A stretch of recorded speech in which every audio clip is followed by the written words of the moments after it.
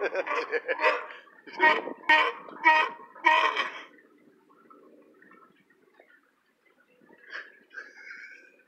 he's.